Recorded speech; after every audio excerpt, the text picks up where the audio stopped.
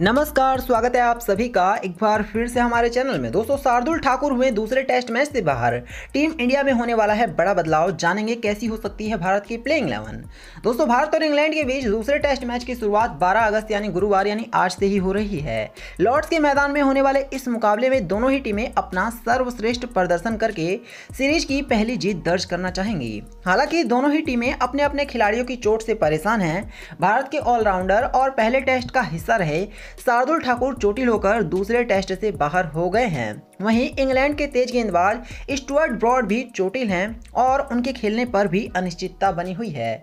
ऐसे में सीरीज़ के दूसरे मुकाबले में दोनों टीमों की प्लेइंग इलेवन में बदलाव संभव है। फ़िलहाल जानते हैं कि भारत की संभावित एकादश क्या होने वाली है। दोस्तों, के राहुल ने पहले टेस्ट में शानदार प्रदर्शन किया था। उन्होंने पहली पारी में अर्धशतक जमाते हुए चौरासी रन बना दिया था। ऐसे में उनका खेलना तय है। और जबकि रोहित शर्मा उनके जोड़ीदार के रूप में भी मौजूद रहने वाले हैं।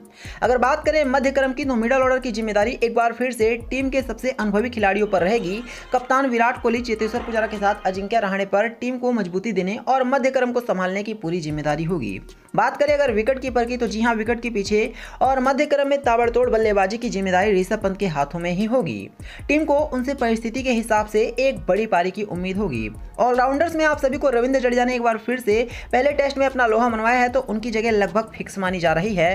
हालाँकि गेंदबाजी में उन्हें अधिक मौके नहीं मिले। वहीं शार्दुल ठाकुर के चोटिल होने की वजह से वो इस मैच से बाहर हो चुके हैं। बात करें अगर गेंदबाजों की तो पहले टेस्ट मैच से बाहर रहने वाले अनुभवी स्टार तेज गेंदबाज ईशांत शर्मा को शार्दुल की जगह मौका मिल सकता है। उनके अलावा मोहम्मद समी और जसप्रीत बुमराह का खेलना भी तय है। बुमराह ने मैच में नौ विकेट चटकाकर अपने आलोचकों को करारा जवाब दिया है। तो अगर एक बार फिर से हम पूरी प्लेइंग इलेवन की बात कर लें तो देखिए रोहित शर्मा केएल राहुल, विराट कोहली, चितेश्वर पुजारा, अजिंक्य रहाणे, ऋषभ पंत, ईशांत शर्मा, रविंद्र जडेजा, मोहम्मद समी मोहम्मद सिराज और जसप्रीत बुमराह। ये आपको प्लेइंग इलेवन आज के मैच में देखने को मिलने वाली है। तो यही था वीडियो में। वीडियो को लाइक करना, इसे शेयर करना और चैनल को सब्सक्राइब करना। धन्यवाद।